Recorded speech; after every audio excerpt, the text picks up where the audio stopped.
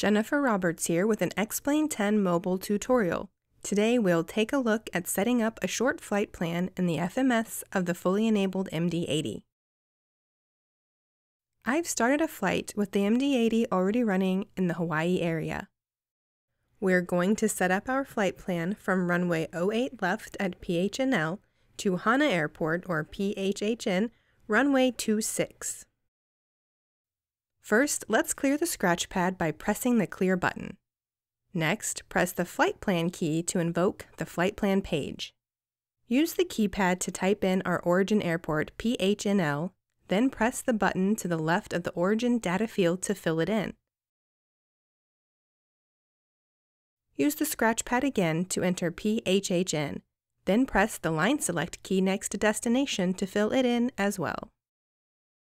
We'll go ahead and enter an optional flight number using the same process as before.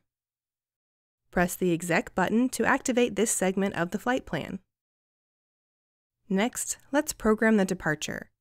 Press the Departure Arrivals key for the index page. Press the button next to Departures to see the list of departure options. Our runway is here on the first page, but you can also use the next page or previous page buttons to move between the pages.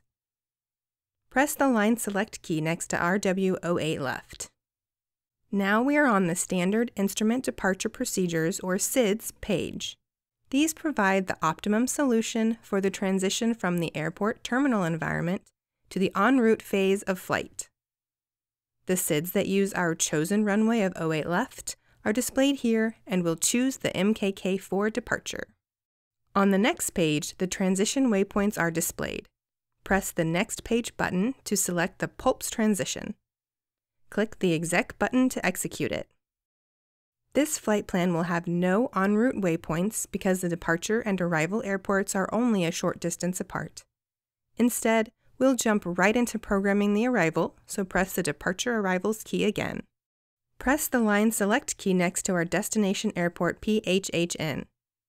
If the Standard Instrument Arrival Procedure, or STAR, is available, it would be listed on this page.